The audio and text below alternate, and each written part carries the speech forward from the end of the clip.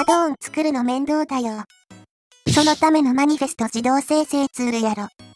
でもあれ、コピペしないといけないじゃん。もっと、サクッとアドオンが作れたらいいのにな。ああ、確かに。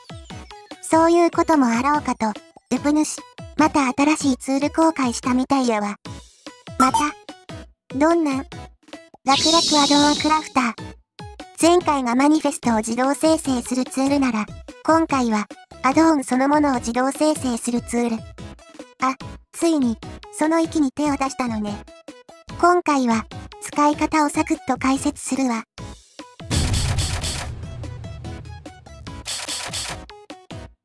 まずは、このページにアクセス。概要欄にもリンクがあるで。そんで、このページをちょっとスクロールすると、アドオンジェネレーター。ラベルを見たら、どんなんできるか大体わかると思うんやけど、機能を軽く紹介すると、まず、一番上で設定できるのがアドオンの名前。これは、アドオンの選択欄に大きく表示されるやつか。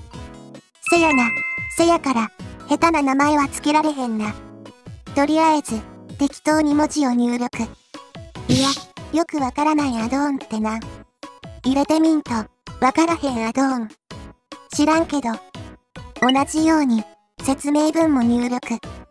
情報量ないじゃん。ダウンロード形式は、ZIP と MC アドオンから選べるんやけど、基本的には、ZIP のままがええかも。ZIP の方が編集できるもんね。で、続いてタックアイコン。ドラッグドロップできるようにしたかったのやけど、できんかったから、とりあえず、クリックで選択画面が開くようになってて、手持ちの正方形の PNG ファイルをタックアイコンとして設定可能。これって、手持ちに画像がなかったりして設定できないときはどうするの？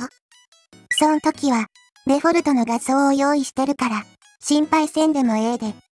ふーん。他にもバージョンとか色々設定できるんやけど、これは、放置してダウンロードをクリック。すると、ZIP ファイルがダウンロードされるから、適当な場所に保存しよう。そして、この ZIP を開くと、2つフォルダがあるね。BP と RP。BP というのは、ビヘイビアパックのことで、RP はリソースパック。これを、それぞれ、アドオンのフォルダに入れていこう。こっちは、そのままに、COM もジャングを開いて、 development behavior packs を開こう。そして、そのフォルダ内に、先ほどダウンロードした BP フォルダをドラッグドロップ。コピーするのか。せやな。ちゃんとコピーされていれば成功。続いて、 development resource packs の方も、同じように開いて、さっきダウンロードした RP フォルダを、その中にドラッグドロップ。